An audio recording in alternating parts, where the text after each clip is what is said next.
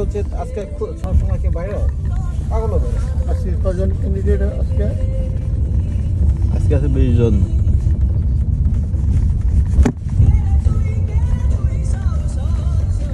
বিশ জন যে আজ বিশ জন যে পিঠা খাওয়াইতে হব না? বিশ জনের সাথে আরও বিশ জন চল্লিশ জন। হুম, পাঠাবে। হ্যাঁ? পাঠাবে। কে পাঠাবে? কত হয়েছে হ্যাঁ। আপনাদের নাকি খরচ পনেরো টাকা দিয়ে গেছে। কত হয়েছে কি দিয়ে গেছে?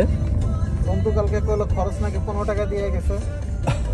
আমি আমি বললাম পনেরো টাকা দেওয়া তো পনেরো জন মানে একজনটাই পিজা ভালো করে খাওয়া না পনেরো টাকা হয়েছে ওই